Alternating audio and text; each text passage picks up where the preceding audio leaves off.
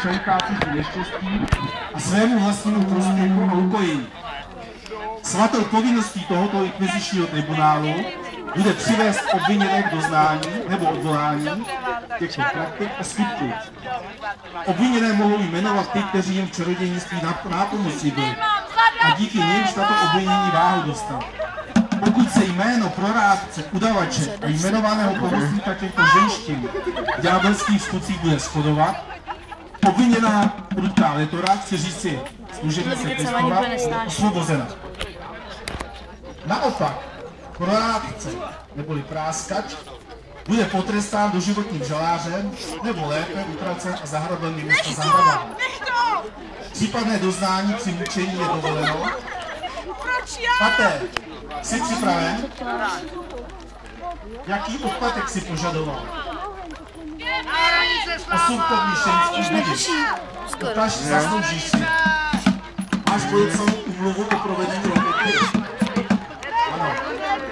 Celý proces svým brkem na pergament zaznamenávat ti bude zapisovatel panství Hardenberského Jan Klabín z Hajtu. Kde ho máme? Věru vševěrně zaznamenej v naší pokolení.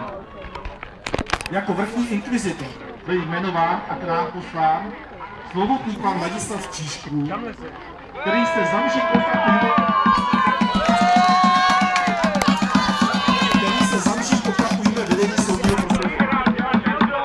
Budiš tedy jim obžalovaný, stejně jako vám všem zde, tento proces výstrahou a možností k návratu na správnou cestu vedoucí ke spáse. Aby se pořád nestávalo, že pokora podle vůle Boží neustále se ponižuje a tím víc pícha ďáblem podněcovaná se vyplývá. Pročež začněme. Pane vrchní inkvizitore, přečti obvinění a káže do zního. Panství Anterberské. Výšná to obec. Pomínáme si? Pardon.